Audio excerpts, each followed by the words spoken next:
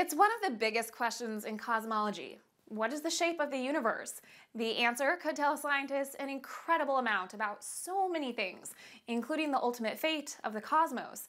See, Einstein's theory of general relativity tells us that the contents of spacetime affect the shape of the cosmos, and the shape tells the contents how to move. Scientists have long measured the universe as if it was geometrically flat, and a flat universe would, theoretically, keep on expanding forever and ever and ever and ever. The alternative may be supported by data collected by the Planck satellite. Planck managed to get our best measurements yet on something called the cosmic microwave background, or CMB for short.